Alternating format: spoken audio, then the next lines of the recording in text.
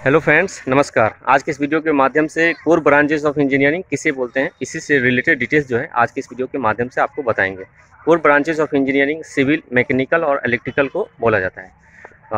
Actually इसलिए बोला जाता है क्योंकि फ्यूचर में जो है, इस तीनों ब्रांच का स्कोप जो है कम होने वाला नहीं है। सिविल में आप जानते हैं कंस्ट्रक्शन से रिलेटेड जितना भी वर्क है, वो कभी कम होने वाला नहीं है। जैसे बिल्डिंग कंस्ट्रक्शन ब्रिज कंस्ट्रक्शन जो देखते होंगे बड़े बड़े जो अपार्टमेंट वगैरह जो बनाए जाते हैं, सब सिविल इंजीनियर जो होते हैं, वही उसका डिज़ाइन वगैरह तैयार करते हैं। इसके अलावा जैसे मैकेनिकल इंजीनियरिंग के थ्रू जो है, आप देखते होंगे जितना भी मैकेनिकल जो पार्ट होते हैं, जैसे देखते होंगे फोर व्हीलर एक्चुअली ट्रक देखते होंगे बस देखते होंगे, सब मैकेनिकल का ही कमाल है। इसके अलावा जैसे जितने भी मशीनरी वगैरह जो होते हैं, सब मैकेनिकल का ही मैकेनिकल इंजीनियर जो होते हैं, वही उस चीज़ में उसमें जो है कुछ ना कुछ इम्प्रूवमेंट करते हैं।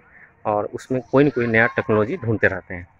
इसके अलावा जैसे इलेक्ट्रिकल इंजीनियरिंग इलेक्ट्रिकल इंजीनियरिंग का भी आजकल में बहुत ज़्यादा एक्चुअली इंपॉर्टेंस बढ़ गया है, क्योंकि जितने भी देखते होंगे आप पावर सप्लाई वगैरह सारे जो है इलेक्ट्रिक पर एक्चुअली कनेक्ट कर कर दिया गया है। जैसे पहले बहुत सारी गाड़ियाँ वगैरह देखते होंगे ट्रेन वगैरह का जो है डीजल वाली चलती होगी, लेकिन आजकल में जो है एक्चुअली जो है इलेक्ट्रिक लाइन वगैरह बना दिए गए हैं। तो एक्चुअली आने वाले भविष्य में जो है जितने घर वगैरह में कनेक्शन वगैरह जो देखते होंगे पावर सप्लाई वगैरह देखते होंगे मोटर चलता होगा होगा आपके घर में, जैसे इरिगेशन की जाती है तो सारे जो है इलेक्ट्रिक पर जो है कनेक्शन की जा रही है।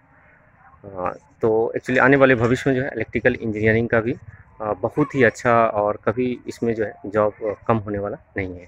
इसीलिए जो है इसको तीनों जो ब्रांचेज इंजीनियरिंग का है सिविल मैकेनिकल इलेक्ट्रिकल इसको पूर्व ब्रांचेज ऑफ़ इंजीनियरिंग बोला जाता है। आशा करते हैं इस वीडियो के माध्यम से जो है पूर्व ब्रांचेज ऑफ़ इंजीनियरिंग क्या होता है, आपको समझ में आया होगा। धन्यवाद।